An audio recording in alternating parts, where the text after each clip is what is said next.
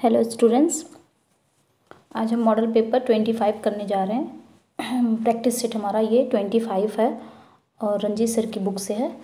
Okay so let's begin first question है who is called the father of empiricism किसे empiricism मतलब father of empiricism किसे कहा जाता है? तो करेक्ट आंसर क्या हो जाएगा? सी फ्रांसिस बेकन को फादर ऑफ़ इम्पेरिसिज्म कहा जाता है। अगला क्वेश्चन है हम जल्दी जल्दी करेंगे, ओके? जहाँ एक्सप्लेन की ज़रूरत होगी, वहाँ ज़रूर एक्सप्लेन करेंगे। आगे क्या कह रहा है? Who is called one of the fathers of modern science किसे फादर ऑफ़ मॉडर्न साइंस कहा जाता है?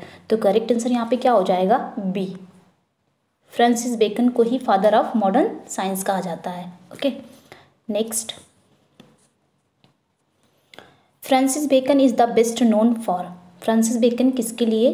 जाने जाते हैं। तो करेक्ट आंसर यहाँ पे हमारा क्या हो जाएगा? A promotion of the scientific method के लिए वो जाने जाते हैं। यहाँ पे हमारा करेक्ट आंसर ए हो जाएगा। नेक्स्ट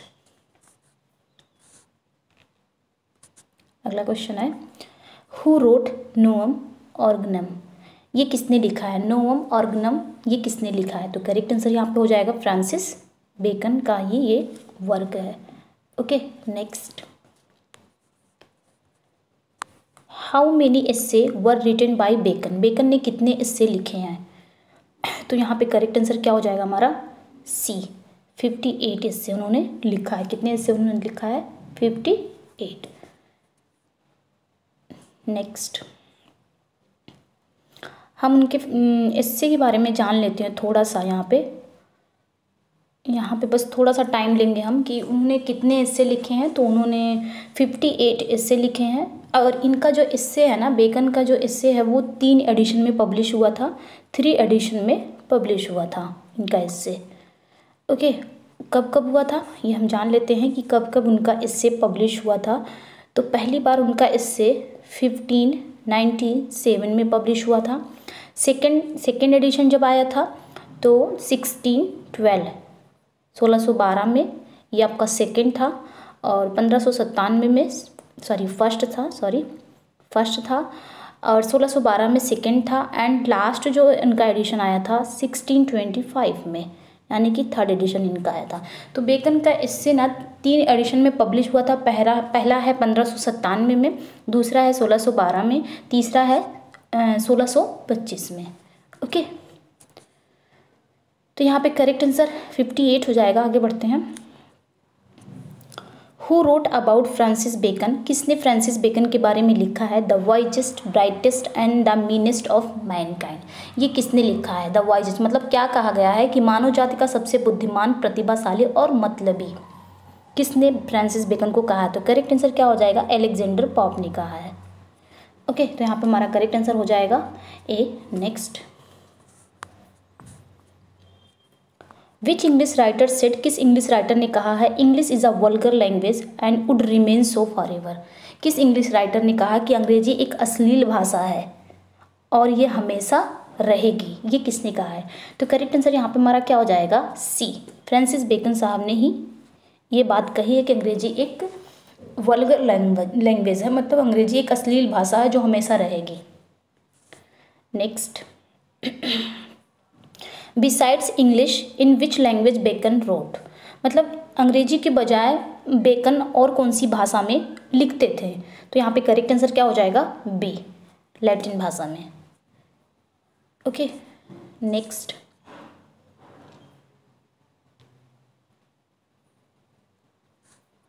आगे बढ़ते हैं। In which year Bacon's essays first appeared यहाँ पे पूछा गया है कि बेकन के इससे पहली बार अपीयर्ड कब हुए थे, कब आए थे?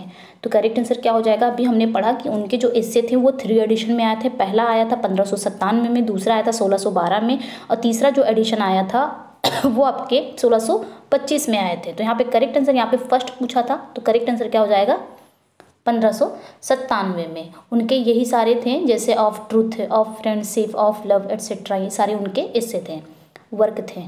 ओके तो यहाँ पे पूछा कि फ़र्स्ट अपीयर्ड मतलब पहली बार कब आया था? पंद्रह में आया था। Next an alexandrine is a words line in तो अलेक्जेंड्राइन जो लाइन होती है वो किसमें होती है? आयम्बिक हेक्सामीटर में होती है। ओके okay, तो करेक्ट आंसर यहाँ पे हमारा क्या हो जाएगा? A next an iambus consist of iambus में क्या होता है तो करेक्ट आंसर ए ही हो जाएगा one unaccented syllable followed by accented one मतलब एक असेंटेड सेलेबल होता है जो फॉलो करता है असेंटेड सेलेबल को ओके यानी कि unstressed syllable followed by stressed syllable तो करेक्ट आंसर यहाँ पे हमारा क्या हो जाएगा? ए हो जाएगा. Next blank words is. Blank words क्या है? तो करेक्ट आंसर यहाँ पे बी हो जाएगा। Unrhymed iambic pentameter. ओके, आगे बढ़ते हैं। Next. Free words is poetry free words poetry correct answer क्या हो जाएगा? Conforming to no regular metre. Okay तो यहाँ पे करेक्ट आंसर हमारा बी हो जाएगा। नेक्स्ट। क्वेश्चन ईजी हैं इसलिए ज़्यादा टाइम नहीं लगाएँगे। Beowulf is Beowulf क्या है? तो करेक्ट आंसर यहाँ पे क्या हो जाएगा? पहला ही है फ़र्स्ट ओल्ड इंग्लिश एपिक है ये। बाई उल्फ क्या है? ओल्ड इंग्लिश का फ़र्स्ट एपिक है। ओके नेक्स्ट जिसके राइटर का पता नहीं है अननोन है। I had found my religion nothing seemed more important to me than a book I saw the library as a temple who said this ये किसने कहा है? थोड़ा सा हम हिंदी जान लेते हैं इसका। क्या कह रहा है ये? I had found my religion मैंने अपना धर्म पाया था। Nothing seemed more important to me than a book आगे क्या कह रहे हैं? मुझे एक किताब से ज़्यादा महत्वपूर्ण कुछ नहीं लगा। मतलब मैंने अपने धर्म में पाया था कि मुझे एक किताब से ज़्यादा महत्वपूर्ण कुछ नहीं लगा। आगे कह रहे हैं I saw the I saw the library as a temple मैंने पुस्तकालय को मतलब मैंने लाइब्रेरी को, मैंने पुस्तकालय को एक मंदिर के रूप में देखा है। हु सेड दिस ऐसा किसने कहा था? तो करेक्ट आंसर यहाँ पे हमारा क्या हो जाएगा? ए हो जाएगा। ओके। जीन पॉल शार्ट्रे ने कहा था ये बात। आगे चलते हैं। ओ, TISS love TISS love that makes the world go round. Who said this? ये किसने कहा था? तो करेक्ट आंसर यहाँ पे क्या हो जाएगा? लेविस कैरोल ने कहा था। ओके, ये किसका कथन है? लेविस कैरोल का। Next. The figure of speech in death lays his icy hands on kings इसमें बता रहा कि कौन सी फिगर ऑफ़ स्पीच है? तो डेथ को ही यहाँ पे क्या कर दिया है? एज ए ह्यूमन यूज़ किया है तो करेक्ट आंसर क्या हो जाएगा? पर्सोनिफिकेशन यहाँ पे कौन सा पर्सोनिफिकेशन हो जाएगा? ओके क्योंकि डेथ को एज ए पर्सन उसने यूज़ किया है। अगला है find out the figure of speech in he received a mortal wound यहाँ पे कौन सी फिगर ऑफ़ स्पीच है? तो करेक्ट आंसर क्या हो जाएगा? ट्रांसफ़र एपिथेट यहाँ पे उंड जो है, ये एक एडजेक्टिव है सॉरी उंड जो है एक नाउन है मॉटल जो है एक एडजेक्टिव है। तो यहाँ पे ट्रांसफ़र एपिथेट की बात कर रहा है ओके एपिथेट मतलब ये होता है एडजेक्टिव नेक्स्ट अब यहाँ से क्वेश्चंस क्या कह रहे हैं? कह रहा है कि 19 से और 38 से शेक्सपियरियन ट्रेजडी हेमलेट से क्वेश्चंस हैं, देख लेते हैं इसको। Whom does Gertrude rush to see after Polonius is killed यहाँ पे क्या कह रहा है कि पोलोनियस के मारे जाने के बाद जर्टरूड किसे देखने के लिए दौड़ती है? तो करेक्ट आंसर यहाँ पे हमारा क्या हो जाएगा? ए क्लॉडियस को देखने के लिए दौड़ती है कि कहीं क्लॉडियस को तो भी हेमलेट ने मार नहीं दिया। Next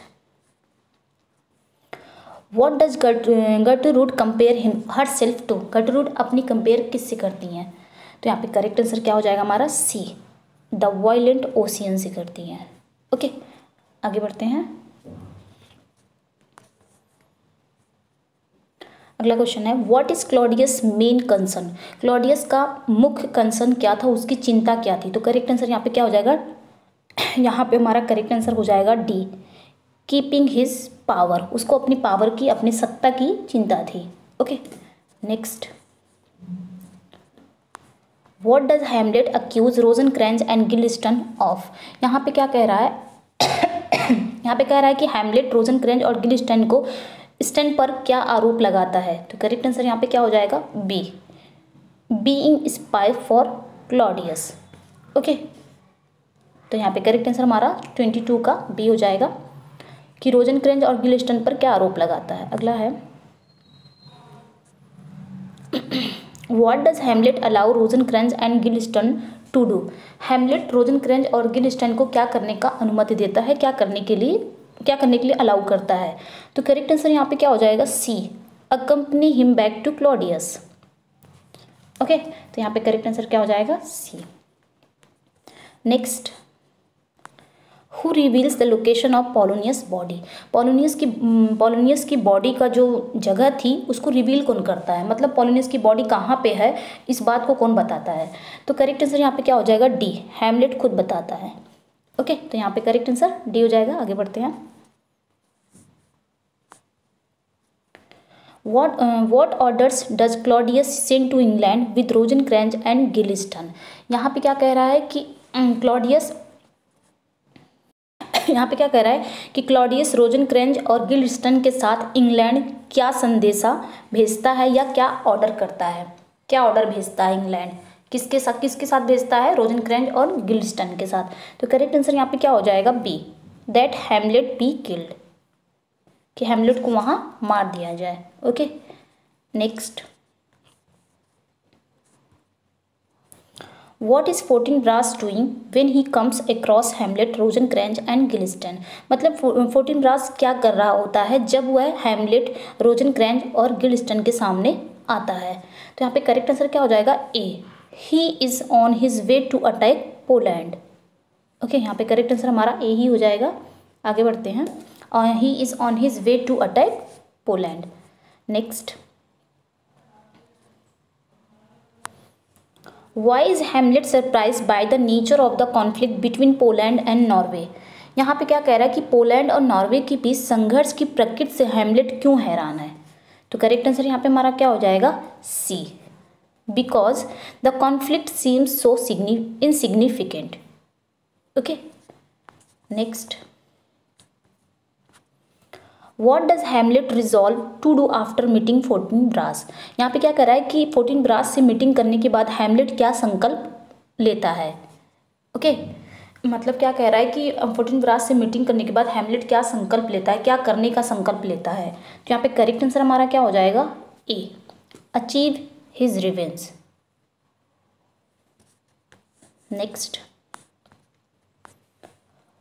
how does Ophelia handle the news of Polonius death Polonius की डेथ की खबर सुनते ही ओफीलिया अपने आप को कैसे संभालती है? तो यहाँ पे करेक्ट आंसर हमारा क्या हो जाएगा? डी ही गॉज क्रेजी वह पागल हो जाती है। Okay next what does Horatio urge Gertrude to do होरेसियो गटरूट से क्या करने का आग्रह करता है? तो करेक्ट आंसर यहाँ पे क्या हो जाएगा? सी कंसोल ओफिलिया मतलब कहता है कि ओफिलिया को कंसोल करो। उसे दिलासा दो। ओके नेक्स्ट अगला क्वेश्चन है। How do the peasant feel about Laertes upon his return जो पिजांट थे, जो किसान थे पिजांट मीन्स क्या होता है? किसान पिजांट्स लियर्टीज की वापसी पर कैसा फील करते हैं? तो यहाँ पे करेक्ट आंसर हमारा क्या हो जाएगा? A. That feel sorry they feel they feel that he ought to be king okay next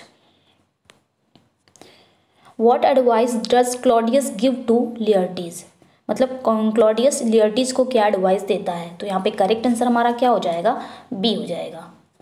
That that he should seek revenge on whoever his responsible for Polonius death मतलब बदला लेने के लिए कि तुम्हारे फादर को मारा है तो उसके लिए बदला लेने के लिए कहता है। What does Hamlet's letter to Horatio से मतलब हेमलेट का जो लेटर है, वो हरेसियो को क्या कहता है? तो यहाँ पे करेक्ट आंसर हमारा क्या हो जाएगा? C that he is returning to Denmark with news okay तो यहाँ पे करेक्ट आंसर हमारा सी हो जाएगा। आगे बढ़ते हैं। Why doesn't Claudius punish Hamlet Claudius Hamlet को सज़ा क्यों नहीं देता है? तो करेक्ट आंसर यहाँ पे यहाँ पे क्या हो जाएगा? C because too many people adore Hamlet ठीक है? तो करेक्ट आंसर हमारा यहाँ पे सी हो जाएगा। Next why is Laertes happy about Hamlet's return to Denmark Laertes क्यों लियर्टीज हेमलेट के डेनमार्क वापसी पर क्यों खुश था? क्यों खुश है? ओके लियर्टीज हेमलेट के डेनमार्क लौटने से क्यों खुश है? तो यहाँ पे करेक्ट आंसर क्या हो जाएगा? ए क्यों खुश है? Because he plans to kill him क्योंकि वो उसे मारने का प्लान बनाता है, इसीलिए खुश है। Okay next when does Laertes plan to kill Hamlet Laertes Hamlet को कब मारने का प्लान बनाता है? तो करेक्ट आंसर यहाँ पे क्या हो जाएगा? सी हो जाएगा at a fencing match okay next what do Laertes and Claudius plan to do if Hamlet wins the duel यहाँ पे क्या कह रहा है कि लियर्टिस और क्लॉडियस क्या करने की योजना बनाते हैं अगर हेमलेट डुअल जीतता है तो? यहाँ पे करेक्ट आंसर यहाँ पे हमारा क्या हो जाएगा? C poison him with a cup of wine कि अगर डुअल जीत जाता है तब हम कैसे मारेंगे उसको?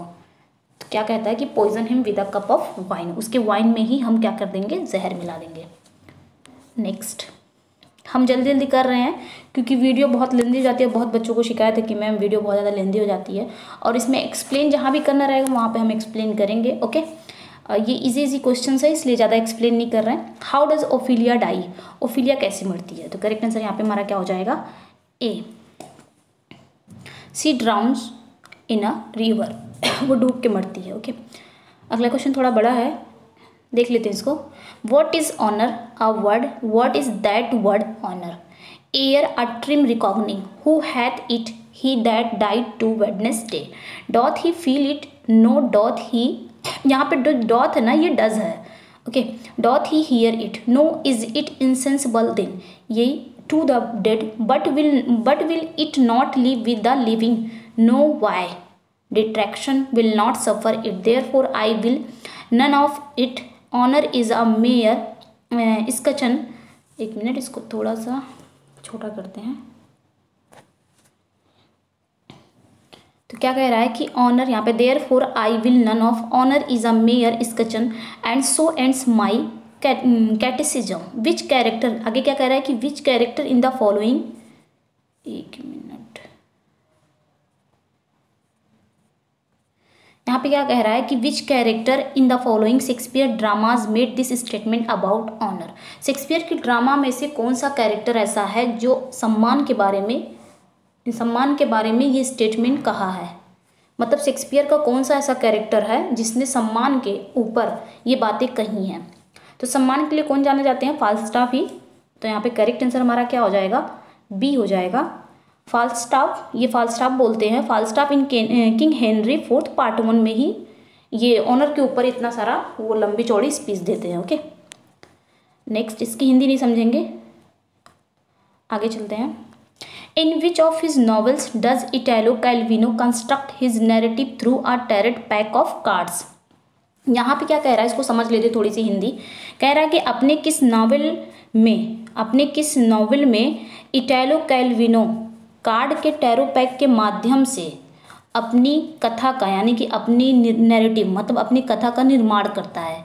आगे कह रहा है and reinterpret the western canon providing new versions of Oedipus Rex Faust Hamlet Macbeth and King Lear आगे कह रहा है कि और ऑडिपस और Oedipus Rex Faust Hamlet Macbeth and King Lear के नए संस्करण मतलब न्यू वर्जन के नए संस्करण प्रदान करने वाले वेस्टर्न कैनन की फिर से व्याख्या करता है।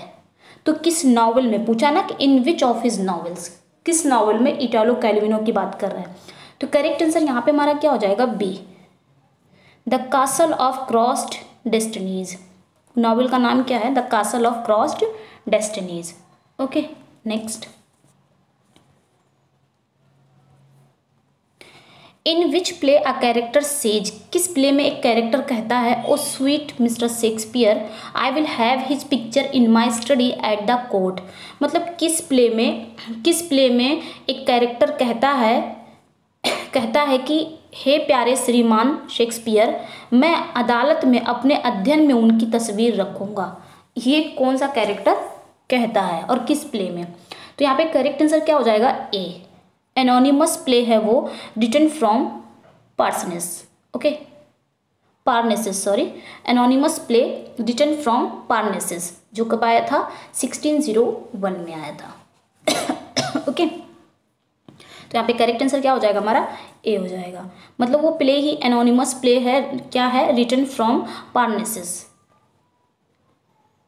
next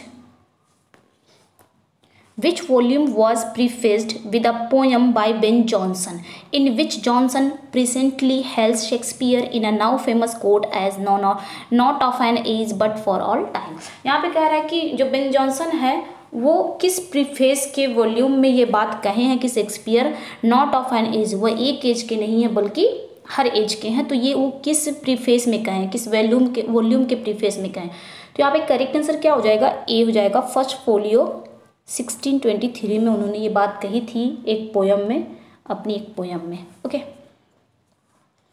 next which of the following is considered the first editor of the works of William William Shakespeare यहाँ पे क्या करा है कि निम्नलिखित में से कौन सा पहला एडिटर है विलियम शेक्सपियर के वर्क का?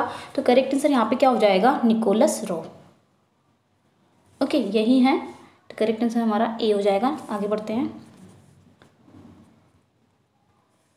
Wordsworth made his debut as a character in 1787 when he published a sonnet in Wordsworth 1787 में एज ए सॉरी यहाँ पे राइटर है। Wordsworth 1787 में एज ए राइटर डेब्यू किए थे वो। और जब उन्होंने अप, अपनी एक सोनेट को पब्लिश कराया था कहाँ कराया था? तो करेक्ट आंसर यहाँ पे क्या हो जाएगा? बी द यूरोपियन मैगजीन में उन्होंने अपनी पहले सोनेट को उन्होंने क्या किया था? पब्लिश कराया था। ओके, और सत्रह सौ सतासी में एज ए राइटर वो डेब्यू किए थे। मतलब लिखे थे, आए थे एज ए राइटर अगला क्वेश्चन है Wordsworth fell in love with a French woman Annette Vallon who is seventeen ninety two seventeen ninety two gave birth to their daughter Wordsworth Wordsworth को एक फ्रेंच वुमेन से प्यार हो जाता है, जिनका नाम है एनिट वेलन जिन्होंने सत्रह सौ बानवे में उनकी एक बेटी को जन्म दिया था। बेटी का नाम क्या है? तो यहाँ पे करेक्ट आंसर क्या हो जाएगा? सी कैरोलिन ओके ये इंपॉर्टेंट है। पूछता है Caroline okay next Wordsworth wrote the sonnet Wordsworth एक सोनेट लिखते हैं। It is a beauteous evening calm and free recalling are seaside walk with nine year old तो ये उन्होंने किसके लिए लिखा है? तो करेक्ट आंसर यहाँ पे क्या हो जाएगा? Caroline it is a beauteous evening calm and free next अगला क्वेश्चन है। The first volume of lyrical ballad 1798 was publish under the author name यहाँ पे कह रहा है कि जब लिरिकल बैलेट्स का फ़र्स्ट वॉल्यूम आया था सत्रह सौ अट्ठानवे में तो किसके किसके नाम आया था? मतलब उस टाइटल पे किसका नाम था? तो किसी का नाम नहीं था। जब सत्रह सौ अट्ठानवे में लिरिकल बैलेट्स आया था तो उस पर किसी का, ना ही ना ही वर्ड्सवर्थ का नाम था, ना ही एस टी कॉलरेज का। किसी का नाम नहीं था एनोनिमस था। तो यहाँ पे करेक्ट आंसर हमारा क्या हो जाएगा? नन ऑफ़ दीज किसी का नाम नहीं था एनोनिमस था। वो एनोनिमस पब्लिश हुआ था। ओके तो यहाँ पे करेक्ट आंसर हमारा क्या हो जाएगा? डी आगे बढ़ते हैं। Which work of Wordsworth was criticise Wordsworth के किस वर्क को क्रिटिसाइज किया गया? And rejected in the words और ये कहकर रिजेक्ट कर दिया गया। क्या कहकर? Impossible that the play should succeed in the representation मतलब असंभव है कि ये प्ले जब ये प्ले रिप्रेजेंटेशन होगा, सफल होगा। ये ये बात असंभव है। कि ये प्ले सफल भी होगा, इसको सफलता भी मिलेगी। ये कहकर वर्ड्सवर्थ को क्रिटिसाइज भी किया गया, उनके वर्क का, और रिजेक्ट भी कर दिया गया। तो किस वर्क को किया गया? तो करेक्ट आंसर यहाँ पे क्या हो जाएगा? द बोड्रस इसको ही किया था, okay? Next. Who was John Walking Stewart that in Paris seventeen Paris 1792 John Walking Stewart कौन थे, जिनसे वर्ड्सवर्थ ने, वर्ड्सवर्थ पेरिस में सत्रह सौ बानवे में मिले थे? तो करेक्ट आंसर यहाँ पे क्या हो जाएगा? A an English philosopher and traveller who wrote the apocalypse of nature मतलब एक इंग्लिश फिलोसोफर थे ट्रेवलर थे, जिन्होंने द एपोक्लिप्स ऑफ़ नेचर लिखा। तो करेक्ट आंसर यहाँ पे हमारा ए हो जाएगा। Next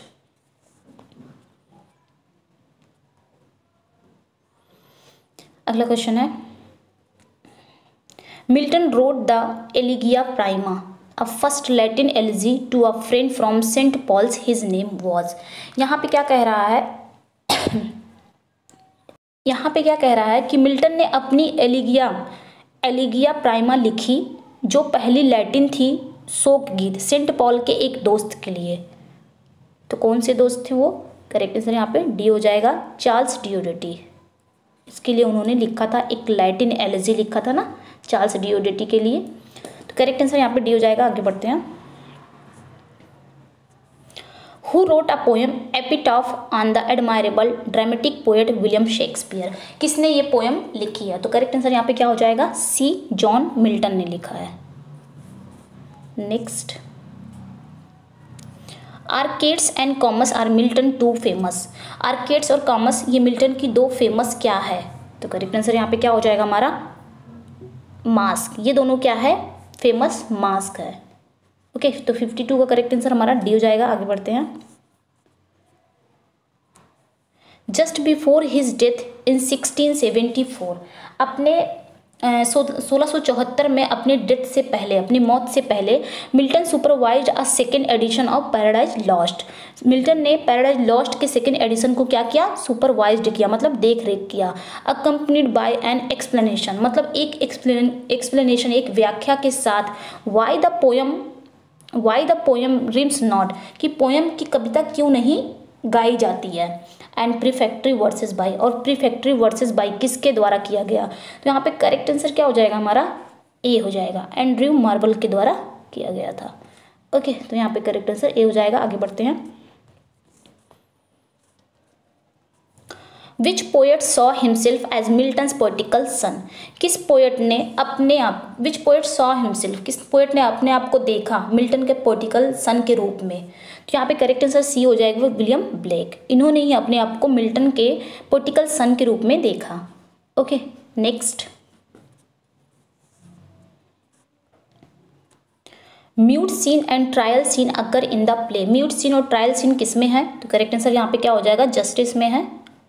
Okay okay. क्योंकि उसी में दिखाया जाता है mute scene and trial scene next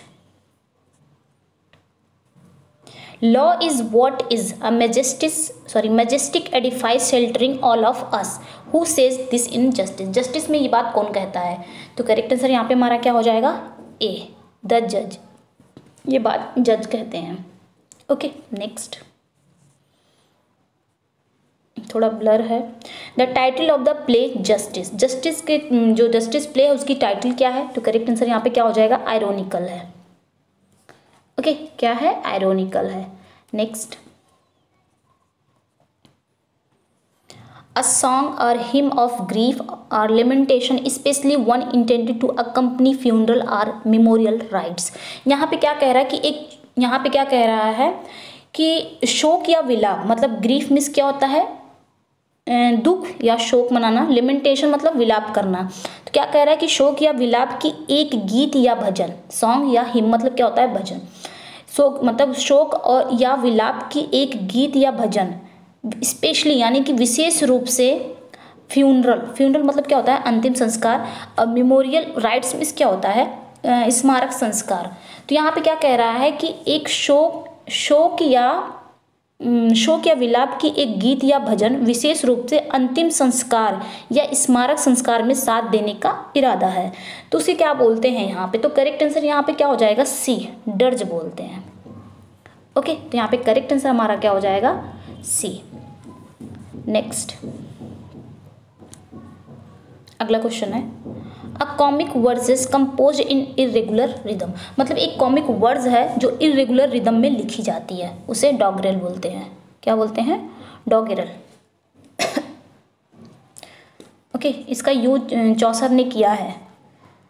Next a short pastoral poem usually in a dialogue मतलब यहाँ पे क्या कह रहा है कि एक छोटी देहाती कविता यूजली इन डायलॉग आमतौर पर संवाद में on the subject of rural life और क्या कह रहा है कि ग्रामीण rural life and the society of shepherds और क्या कह रहा है कि ग्रामीण जीवन और चरवाहों के समाज के विषय पर depicting rural life as free from the complexity and corruption of more civilised life आगे क्या कह रहा है कि ग्रामीण जीवन को अधिक सभ्य जीवन की जटिलता और भ्रष्टाचार से मुक्त रूप में दर्शाती है। ऐसी कौन सी कविता है ये? मतलब एक शॉर्ट पेस्टोरल पोएम है, जिसके, जो आमतौर पर डायलॉग में होती है और जिसका सब्जेक्ट ग्रामीण जीवन का होता है और शेफर्ड्स के बारे में होता है। तो कौन सी ये? ये सारे आप याद करना है ना तो आप इसका जो भी की वर्ड है ना, वो याद करिए। जैसे ये एक पेस्टोरल पोएम है डायलॉग फॉर्म में होती है। इसका जो सब्जेक्ट है वो ग्रामीण जीवन का है। ओके शेफर्ड्स का ये सारे कीवर्ड हैं। तो वो क्या है? कौन सी कविता है? देख लेते हैं। तो करेक्ट आंसर यहाँ पे हमारा क्या हो जाएगा? इकोलॉग है। ओके, यहाँ पे एलिजी पे नहीं जाएँगे। यहाँ पे क्या है? इकोलॉग है। पेस्टोरल पोएम है इकोलॉग नेक्स्ट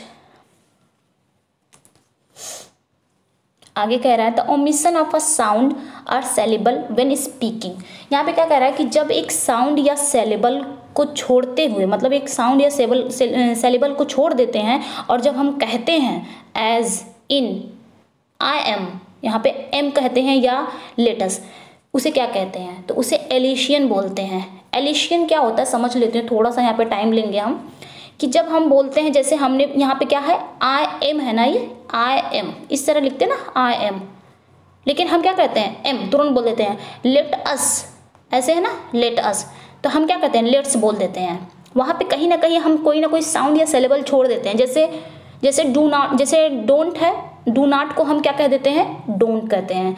डिड नाट को हम डिंट बोलते हैं। हैव नाट को हैव हैवेंट बोलते हैं। तो वही चीज़ है कि जब हम हैव नाट को हैवेंट बोलते हैं तो वहाँ पे कोई साउंड या सेलेबल उसको क्या कर देते हैं? ओमिशन कर देते हैं, छोड़ देते हैं। तो उसे क्या कहते हैं? एलिशियन कहते हैं।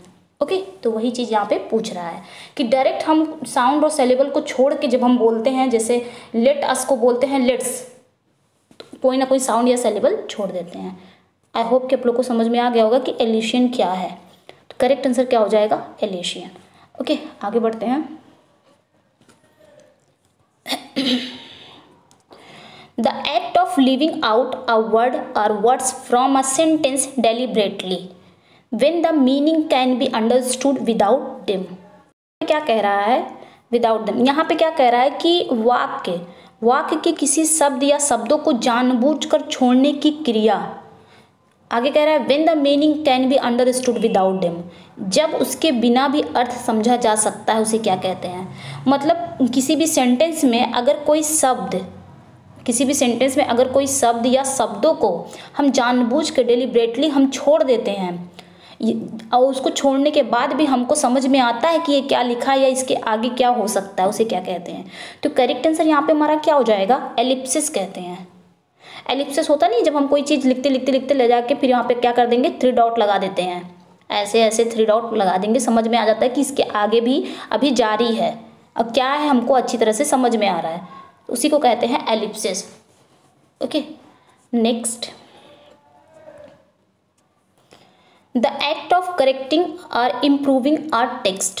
यहाँ पे क्या कह रहा है कि किसी भी टेक्स्ट, यानी कि किसी भी पाठ को सुधारने की क्रिया और a change made to correct or improve a text. फिर क्या कह रहा है कि, यहाँ पे कह रहा है कि किसी भी पाठ को सुधारने की क्रिया या किसी पाठ को ठीक करना या सुधारने के लिए किया गया परिवर्तन क्या कहलाता है? मतलब किसी भी पार्ट को उसको सुधारने की क्रिया या फिर या फिर किसी भी पार्ट को सुधारना या फिर उसको करेक्ट करने की क्रिया को क्या कहते हैं? तो यहाँ पे करेक्ट आंसर क्या हो जाएगा? बी एमेंडेशन कहते हैं। According to this book B answer इसमें दिया गया है। ओके अमेंडेशन नहीं होगा emendation according to this book इसमें आंसर यही दिया गया है। Okay okay? तो करेक्ट आंसर यहाँ पे क्या हो जाएगा हमारा? बी हो जाएगा। Next The ability is share someone else feeling or experience by imagining what uh, what it would be like like to be in that person's situations तो यहाँ पे क्या कह रहा है कि किसी और की भावनाओं को मतलब क्या कह रहा है कि someone else feeling किसी और की भावनाओं को साझा करने की क्षमता ठीक है शेयर करने की किसी और की भावनाओं को शेयर करने की क्षमता या यह कल्पना करके अनुभव करता है, या फिर यह कल्पना करके क्या करता है, अनुभव करता है। What it would be like to be in that person situation कि यह कैसा होगा या उस व्यक्ति की स्थिति में हो। उसे क्या कहते हैं? तो हम अपनी लैंग्वेज में इसको समझते हैं कि क्या कह रहा है यहाँ पे। इसके करेक्ट आंसर क्या हो जाएगा? इम्पैथी जब हम देखते हैं ना इम्पैथी क्या होता है? इम्पैथी हो तो वो चीज़ होती है, जब हम कोई तकलीफ़ में रहता है तो हम उसकी तकलीफ़ को इस कदर उसकी तकलीफ़ में खो जाते हैं या फिर उसको अपनी जगह पे रख लेते हैं। मतलब उसकी जगह पे हम अपने आप को रख लेते हैं। तब हम समझ सकते हैं कि वो कितनी तकलीफ़ में है, उसी को कहते हैं इम्पैथी सिंपैथी क्या होता है? सिंपैथी मतलब सहानुभूत। कोई तकलीफ़ में है, आप उसको कंसोल कर रहे हो, उसी को कहते हैं सहानुभूत। लेकिन इम्पैथी क्या होता है? उसकी जगह पे आप अपने आप को रख लेते हो। अगर वो बहुत ज़्यादा तकलीफ़ में है, बहुत ज़्यादा दुख तकलीफ़ में है, परेशानी में है तो आप क्या कर लोगे अपने आप को उसकी जगह पर रख लोगे। तो जो तकलीफ़ उसको हो रही है, वही तकलीफ़ आपको भी होगी। That is called empathy okay तो ये चीज़ यहाँ पर बोल रहा है ये। तो करेक्ट आंसर यहाँ पे हमारा ए हो जाएगा। Next a speech often in words address to a audience by an actor at the beginning of the play मतलब एक स्पीच है जो वर्ड्स में है और ये ऑडियंस को एड्रेस की जाती है एक्टर के द्वारा प्ले के शुरुआत में। मतलब किसी भी प्ले के शुरुआत में एक एक्टर के द्वारा एक स्पीच को ऑडियंस को क्या किया जाता है? एड्रेस किया जाता है, उसे क्या कहते हैं? तो यहाँ पे करेक्ट आंसर हमारा क्या हो जाएगा? बी क्या कहते हैं? जो शुरुआत मतलब प्ले की शुरुआत में बोला जाता है, उसे कहते हैं प्रोलॉग और जो प्ले के लास्ट में बोला जाता है, उसे कहते हैं एपीलॉग बोलते हैं. ओके नेक्स्ट आगे क्या कह रहा है?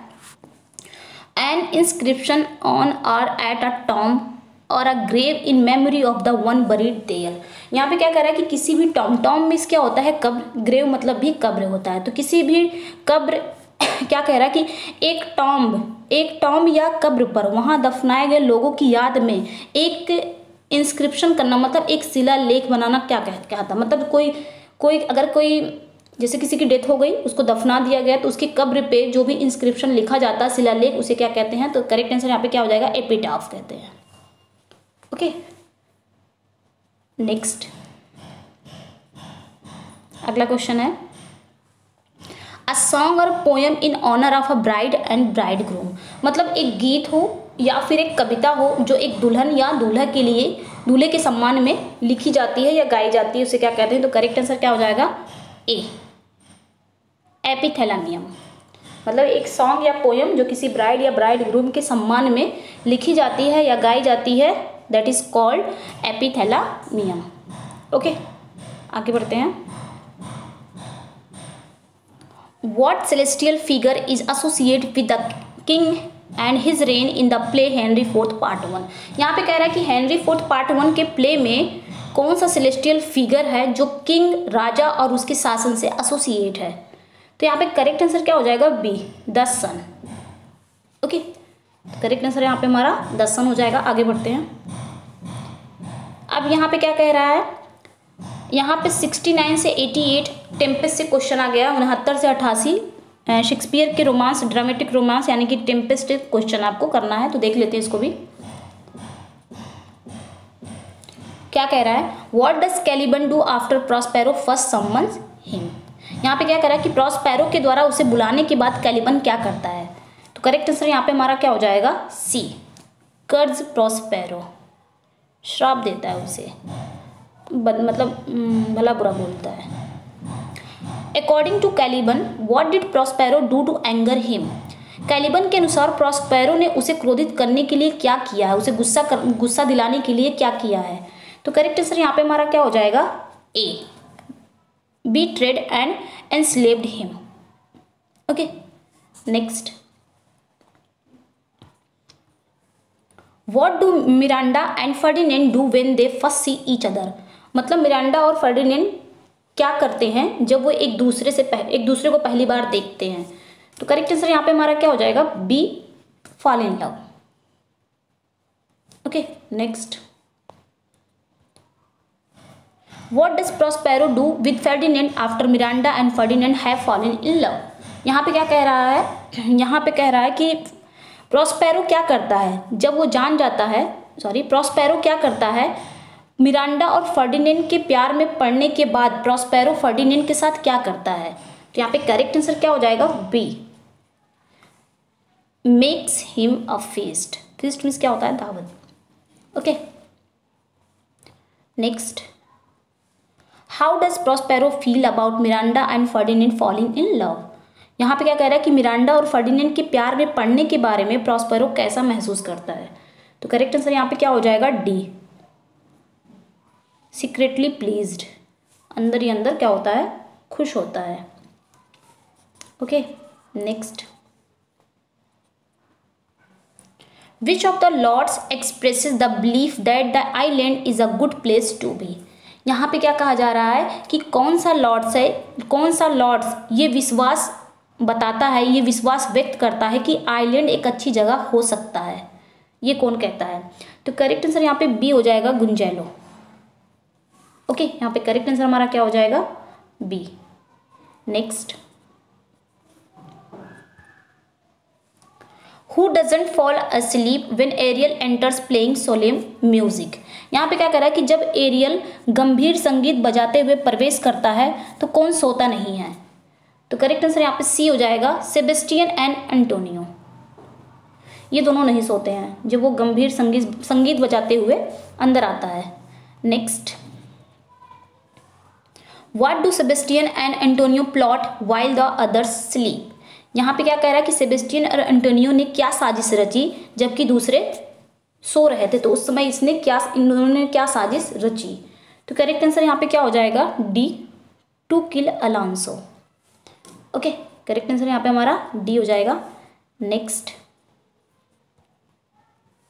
who stops Alonso's who stops Alonso's murder Alonso की हत्या को कौन रोकता है? उसके मर्डर को कौन रोकता है? तो करेक्ट आंसर यहाँ पे क्या हो जाएगा? D Ariel and Gonzalo okay next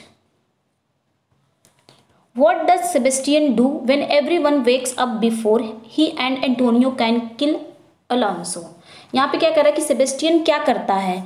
जब हर कोई उसके और एंटोनियो अलांसो के मारने से पहले जागता है। तो सेबेस्टियन क्या करता है? तो करेक्ट आंसर यहाँ पे क्या हो जाएगा? ए कॉन्कॉप्ट्स अ स्टोरी ओके यहाँ पे करेक्ट आंसर हमारा ए हो जाएगा। Next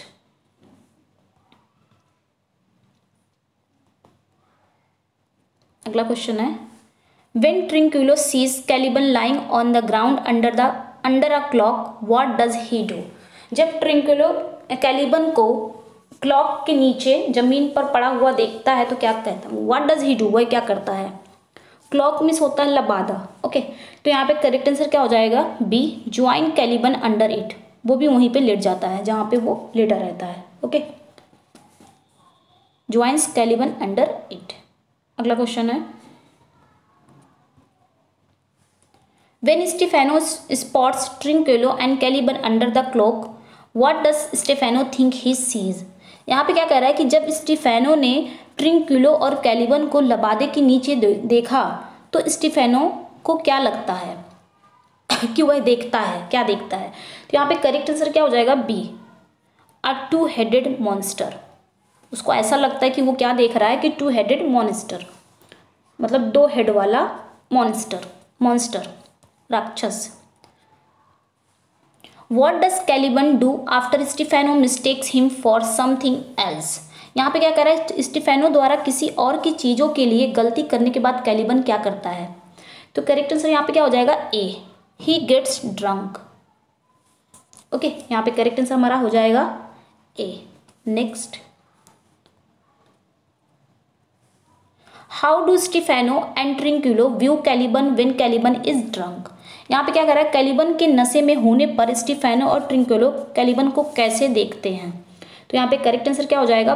C as a ridiculous monster कैसे देखते हैं? एक रेडिकुलस मॉन्स्टर के रूप में देखते हैं। Next what does Caliban offer the two men Caliban दोनों आदमियों को क्या ऑफ़र करता है? तो यहाँ पे करेक्ट आंसर क्या हो जाएगा? A to show them around okay यहाँ पे करेक्ट आंसर हो जाएगा A next what is Ferdinand doing at the beginning of this scene scene के शुरुआत में फर्डिनेंट क्या कर रहा होता है? यानी कि क्या कर रहा है? तो करेक्ट आंसर यहाँ पे क्या हो जाएगा? डी कैरिंग उड ओके यहाँ पे करेक्ट आंसर हमारा डी हो जाएगा next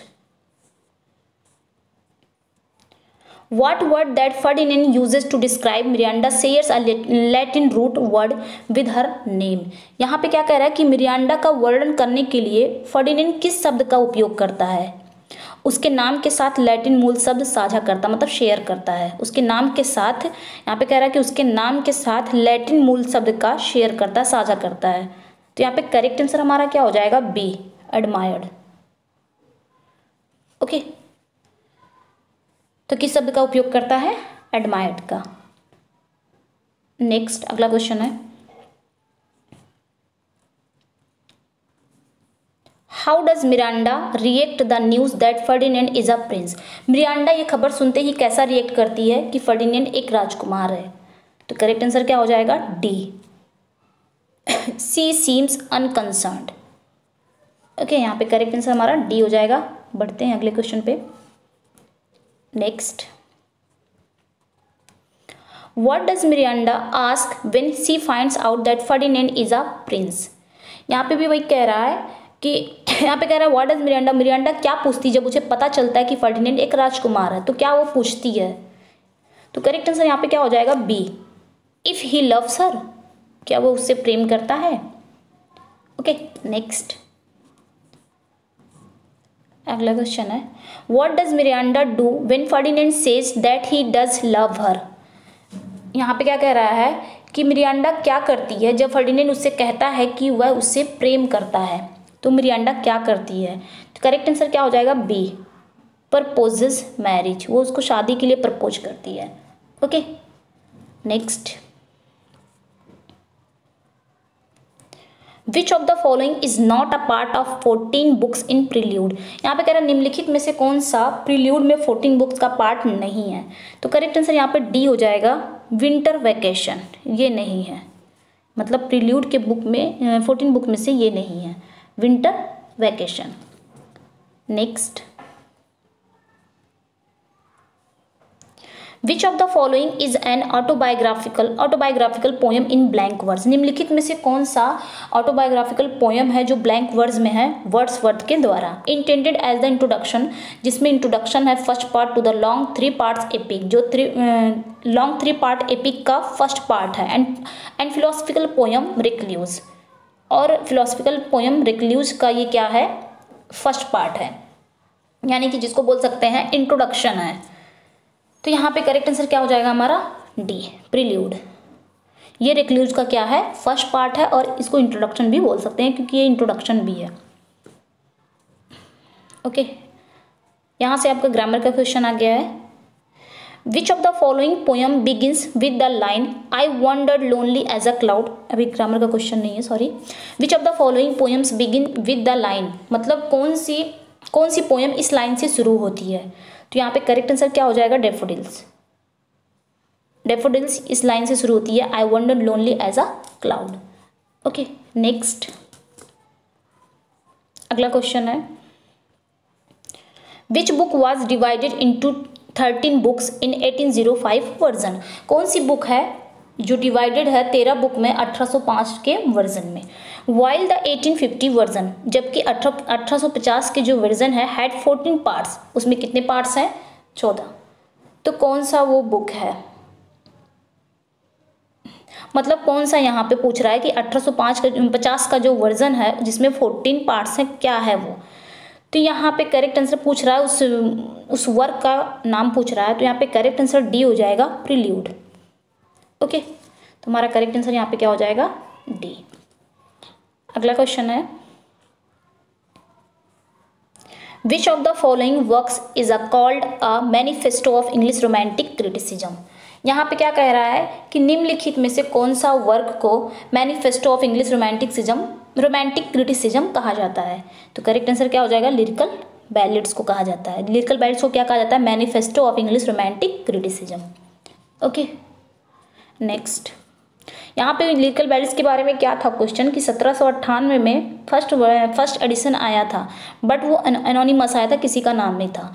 कब आया था? जब 1800 में प्रीफेस आया ना, तब सिर्फ़ किसका नाम आया था? वर्ड्सवर्थ का। एस कॉलेज का उस वक्त भी नाम नहीं था। जब 1800 में लिरिकल बैलेंस सेकेंड एडिशन में आया 1800 विद प्रीफेस तब किसका नाम था टाइटल पे? विलियम वर्ड्सवर्थ का। Okay next in which year Wordsworth, along with his sister Dorothy, moved back to Lake District and settled at the cottage in the village of Grasmere मतलब क्या कह रहा है कि किस साल, किस ईयर वर्ड्सवर्थ और उनकी सिस्टर ड्रोथी लेक डिस्ट्रिक्ट आ गए थे? और यहीं पे वे ग्रासमेयर के विलेज में ही डब कॉटेज में क्या हो गए थे? सेटल हो गए थे किस ईयर तो यहाँ पे करेक्ट आंसर क्या हो जाएगा?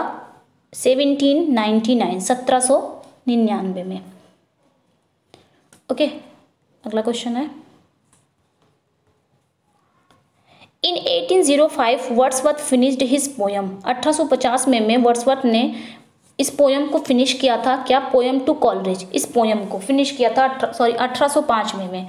1805 में में वर्ड्सवर्थ ने इस पोएम को कुछ किस पोएम को पोएम टू कॉलरेज को फिनिश किया था। But refuse to publish it लेकिन इसे पब्लिश करने से मना कर दिया था तब तक। कब तक? He would complete the recluse जब तक रिक्ल्यूज कंप्लीट नहीं हो जाएगी तब तक इन्होंने क्या कर दिया था? पब्लिश करने से मना कर दिया था।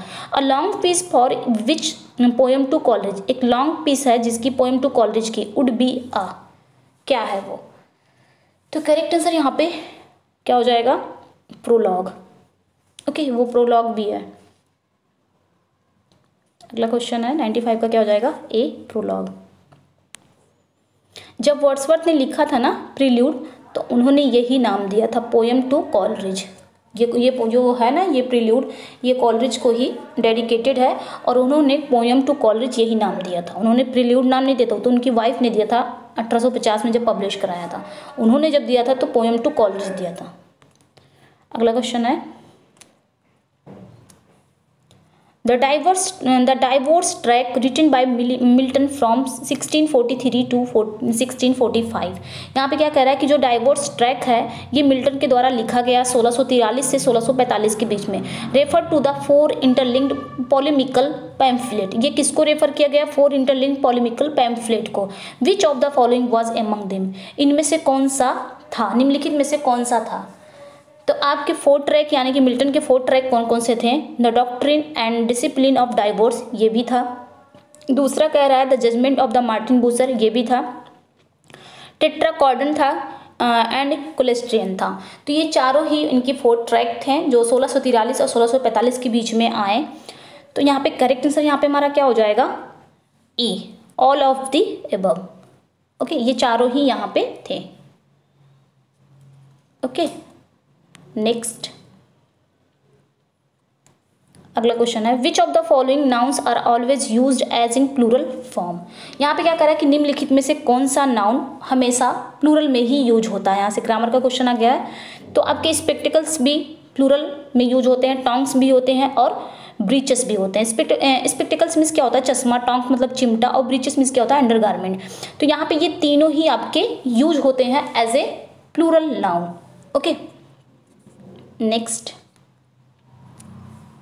Find the incorrect match of animals and their young ones यहाँ पे क्या कह रहा है कि एनिमल है और उनके बच्चों का यहाँ पे नाम है। तो कौन सा उसमें इनकरेक्ट मैच है? तो डियर के बच्चे को क्या कहते हैं? फ़ोन सही है। डॉग के बच्चों को पपी पप या वेल्प ये भी सही है। ड्रोन के लार्वा पुपा प्यूपा ये भी सही है। फॉक्स के बच्चे को लैम नहीं कहते हैं। फॉक्स के बच्चे को कब कहते हैं। ओके सी यू बी क्या कहते हैं? कब कहते हैं? तो यही, यहीं पे एरर था, यही इनकरेक्ट था। फॉक्स इसके बच्चे को कब कहते हैं?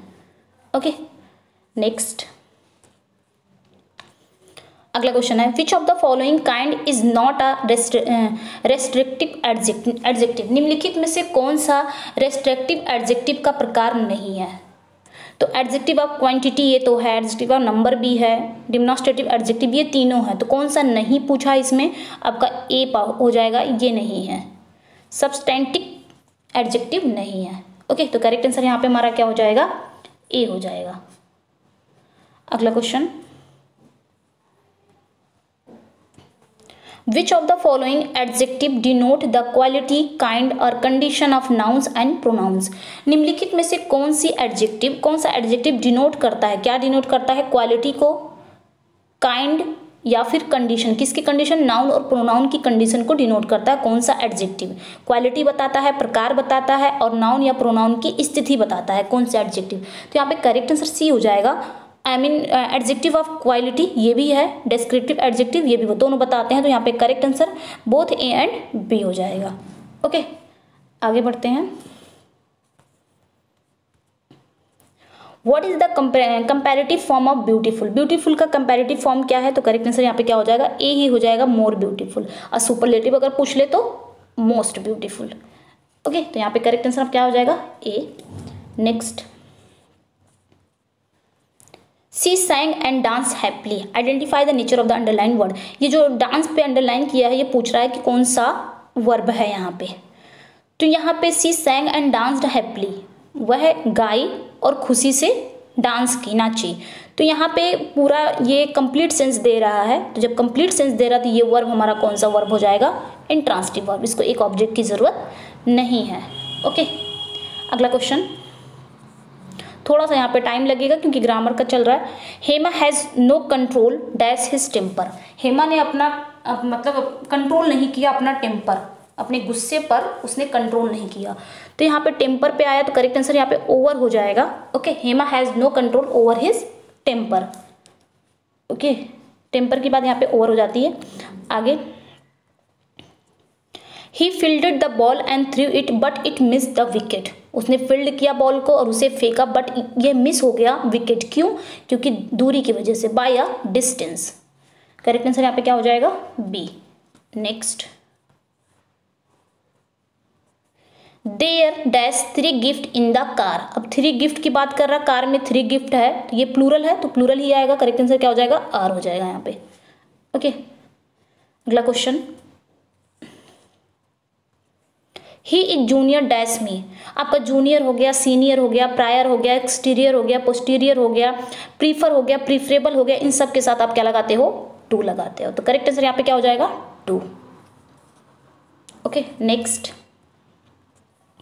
a pair of scissors dash necessary for craft work यहाँ पे हमको फिल करना है वर्ब तो यहाँ पे ऑफ़ के बाद तो नहीं देखना, बस पेयर ही देखना। ऑफ़ से पहले जो हमारा सब्जेक्ट उसी को देख के, उसी के अकॉर्डिंग हमको अपनी सब्जेक्ट रखना है। तो करेक्ट आंसर यहाँ पे बी हो जाएगा। इज़ ओके तो करेक्ट आंसर यहाँ पे क्या हो जाएगा? बी क्योंकि ऑफ़ के बाद हमारा क्या हो जाता है? ऑब्जेक्ट ऑफ़ से पहले सब्जेक्ट तो सब्जेक्ट को देख के हम अपनी वर्ब रखते हैं। अगला question find out the correctly spelled word इसमें कौन सा करेक्टली स्पेल्ड वर्ड है? तो करेक्ट आंसर क्या हो जाएगा?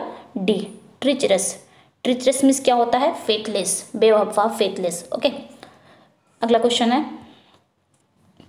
इसमें भी बताना है कि कौन सा करेक्ट स्पेल्ड है, आपकी कौन सी करेक्ट मीनिंग है। तो kleptomania K L E P T O M A N I A kleptomania means क्या होता है?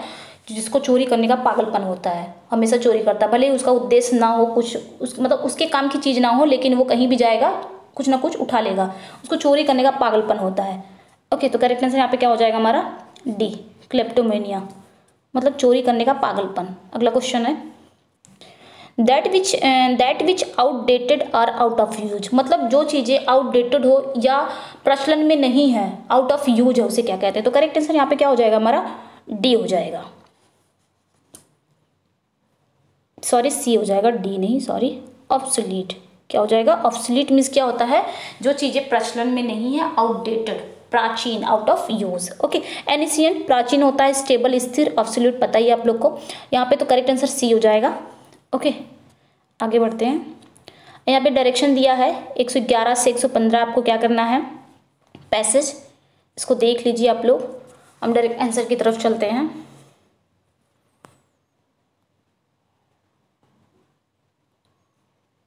तो वैसे पीडीएफ प्रोवाइड हो रही है, आप इसको प्रैक्टिस सेट ज़रूर करिएगा इसकी। ये आपके झारखंड टीजीटी में आया भी था। ऐसा नहीं है कि पैसेज कहीं रिपीट नहीं होते हैं बट आपकी प्रैक्टिस कहते हैं ना प्रैक्टिस मेक्स मैन परफेक्ट तो वही चीज़ है यहाँ पे। तो यहाँ पे देखिए if most law prohibiting occupations occupations for women are obsolete what are they तो करेक्ट आंसर यहाँ पे क्या हो जाएगा? पैसे से क्वेश्चन चल रहे हैं आपके। तो करेक्ट आंसर यहाँ पे सी हो जाएगा आउट ऑफ़ डेट ऑब्सोलीट पूछा ना यहाँ पे? अगला क्वेश्चन है। Which of the following title best suit this passage तो यहाँ पे करेक्ट आंसर क्या हो जाएगा? ए सेक्स इक्वेलिटी आगे बढ़ते हैं। According to the passage what is the characteristic of the existing protective laws for women तो करेक्ट आंसर यहाँ पे क्या हो जाएगा? बी आउटडेटेड यहाँ पे करेक्ट आंसर हमारा क्या हो जाएगा? Outdated next according to to sorry according to this passage equality refers to correct answer D हो जाएगा industrial equality between men and women next what can be inferred from the statement women are forced forced under bidders in an competitive labor market. तो यहाँ पे correct answer क्या हो जाएगा? C they accept lower wage because of favour fewer employment opportunities तो ये आपका passage खत्म हो गया यहाँ पे। यहाँ पे क्या कह रहा है कि आपको 116 से 120 आपको क्या करना है? वन वर्ड का क्वेश्चन आ गया है। इसमें बताना है कि कौन सा इसमें इनकरेक्ट है। ओके okay, तो देख लेते हैं इसको भी। कौन सा इनकरेक्ट है? क्या कह रहा है? पहला क्या कह रहा है? A noisy a noisy turbulent kind of women, उसे विरागो कहते हैं, ये सही है। पार्टनर मतलब झगड़ालू टाइप की औरत। विरागो मतलब क्या होता है? जो बहुत ही दबंग टाइप की औरत होती है, बहुत मतलब झगड़ालू टाइप की। अब पार्टनर इन क्राइम, जो मतलब क्राइम में साथ दे अकम्प्लिस सह अपराधी a period of one thousand years उसे मिलेनियम कहते हैं। ये सही है, तीनों सही है। अ पर्सन बिहाइंड टाइम तो यही आपका गलत है इसमें एरर पार्ट कहाँ है? डी में ही है। तो क्या होगा? अ पर्सन बिहाइंड टाइम तो एंटीक्वेटेड इसे क्या कहेंगे? Anti A N T I Q U A T E D antiquated okay तो करेक्ट आंसर यहाँ पे क्या हो जाएगा? डी नेक्स्ट आगे आगे, आगे क्या कह रहा है? A person free from infection तो हमारा इसी, सबसे पहले इसी में एरर है a person free from infection मतलब वो व्यक्ति जो इन्फेक्शन से फ्री हो तो उसे क्या कहते हैं? इम्यून कहते हैं. क्या कहेंगे? इम्यून ओके इम्यून कहेंगे. I double M U N E immune कहेंगे. बाकी आपका सब सही है. यहाँ पे जितने भी हैं, आपके बाकी सब सही है. आपका एरर पार्ट इसी में था. ओके इम्यूनिटी नहीं कहते immune a person with the same name as N other मतलब जिसका सेम नेम उसे नेम शेक कहेंगे, सही a person who comes to live in a country from some other country मतलब एक व्यक्ति जो दूसरी कंट्री से अपने देश में आता है, उसे इमिग्रेंट बोलते हैं. आई से जब स्टार्ट होगा ना, ये वाला इमिग्रेंट आई वाला, समझो ये आ रहा है, दूसरे देश से, अपने देश में आ रहा है. तो यानी कि इन इसको ऐसे याद रखो इन और जब वो ई वाला आता है ना, ऐसे इमिग्रेंट ये वाला एमिग्रेंट तो यानी कि अपने देश से दूसरी जगह जा रहा है। एग्जिट से याद रखो इसको। Okay a person who is fond of fighting उसे बैलिकोज कहते हैं। सही है बैलिकोज मीन्स क्या होता है? लड़ाकू। आगे चलते हैं हम। यहाँ पे क्या कह रहा है? A person who keeps changing his opinion उसे टर्न कोट कहते हैं, सही है। दूसरा कह रहा है a person who rules without consulting the opinion of others यही गलत है हमारा। हमारा एरर पार्ट किसमें है? बी में ही है तो उसे क्या कहते हैं? ऑटोक्रैट कहते हैं। ऑटोक्रेसी नहीं करते, कहते हैं autocrat A U T O C R A T autocrat कहते हैं। ओके तो किसमें एरर था? बी पार्ट में ही एरर था हमारे। तीसरा क्या person who wishes to throw his establish anarchist बाकी सब सही है। आपके बी पार्ट में ही गलत था। ऑटोक्रेसी नहीं होगा ऑटोक्रैट होगा। आगे चलते हैं। अ प्लेस फॉर कीपिंग बीज मतलब जहाँ मधुमक्खियों को रखा जाता है एपियरी सही है। A place of good climate sanatorium ये भी सही है। आगे क्या कह रहा है? A place for washing dishes adjoining kitchen तो यही हमारा गलत है। आपका सी पार्ट में ही एरर है तो यहाँ पे क्या हो जाएगा? स्पेलिंग है सॉरी एस यू एक मिनट। आपके इसी पार्ट में एरर है। S C U double L E R Y scullery okay तो इस, यही आपका हो जाएगा इसकी जगह पे रेगुलरी की जगह पे सेक्युलरी हो जाएगा। बाकी सब आपका सही है यहाँ पे। A place for shelter or refuge psychiatric hospital asylum कहते हैं, ये सही है। अगला क्वेश्चन है वन ट्वेंटी का क्या है?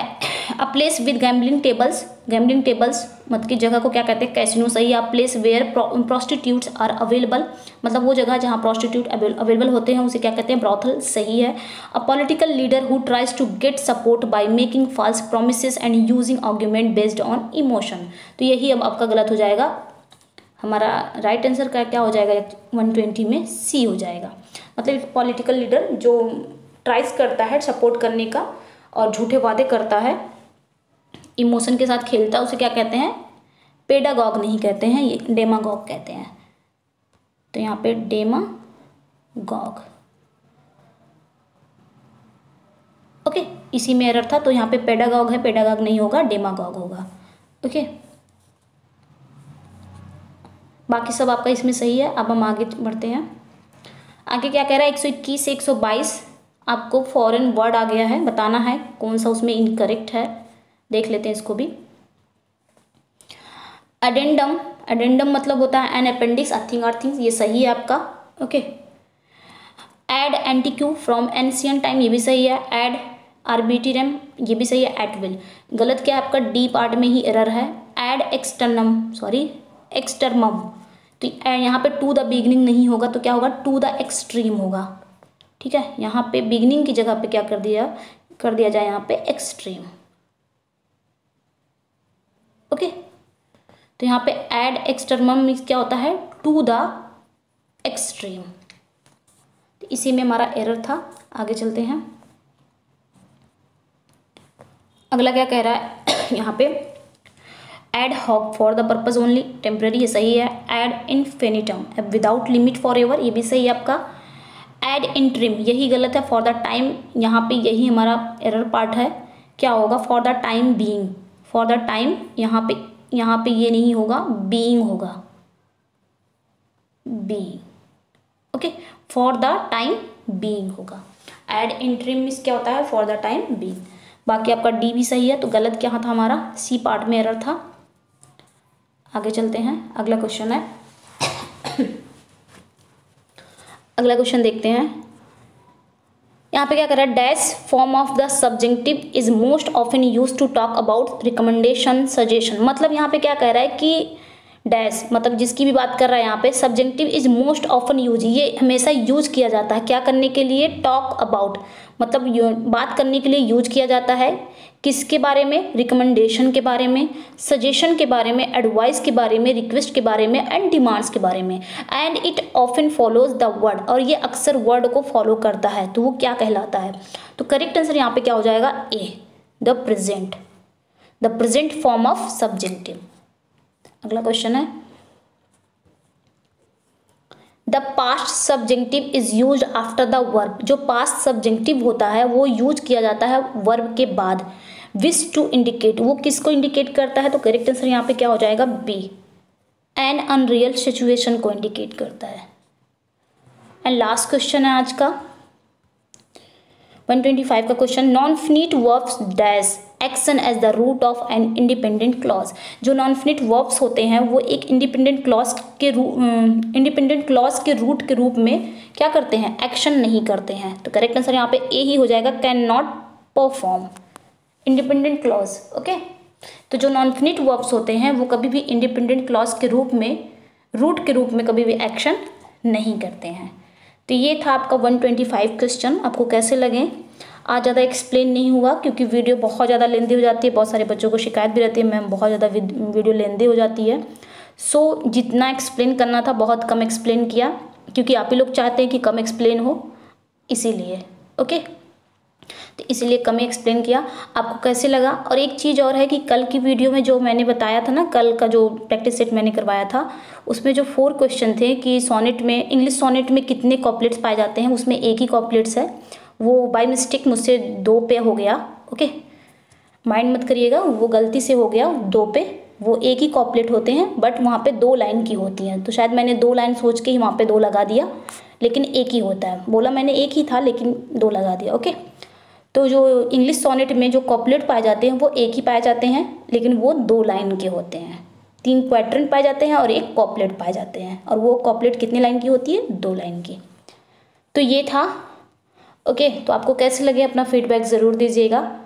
और चैनल पे नए हैं तो चैनल को सब्सक्राइब करिए वीडियो को लाइक एंड शेयर ज़रूर करिएगा। और आपको पीडीएफ चाहिए तो हिना इंग्लिश क्लासेस से ज्वाइन हो सकते हैं। ओके टेलीग्राम पे।